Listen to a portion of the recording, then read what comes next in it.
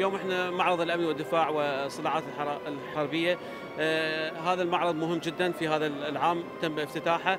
ومشاركة الدفاع المدني كان لها مشاركة فعالة من خلال عرض الأجهزة والمعدات الخاصة بالدفاع المدني. هذه المعدات حديثة آه استخدمناها ضمن الواجبات الخاصة بعمليات الانقاذ والبحث العراقي وكذلك الأطفاء. والمعالجة القنابل غير المنفلقه وال CPR إن هذه وفضلا عن هنالك بوسترات مطبوعة تم عرضها هم للمشاهدين وللزائرين هذا المعرض مدير الدفاع المدني اليوم هي منفتحة على كل الشركات والعالمية العربية والعالمية والأجنبية لتطوير إمكانياتها من خلال استيراد الأجهزة الحديثة في واجباتها.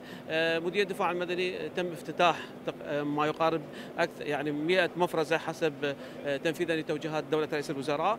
وتم تخصيص 25 مليار إلى مدير الدفاع المدني لإنشاء هذه هذه المفارز وكذلك المعدات والآليات الخاصة الحديثة. هذا اضاف تطوير قابليات وإمكانيات الدفاع المدني للوصول إلى مواقع الحوادث بالسرعه يعني أقل وقت في وصولها للموقع الحادث.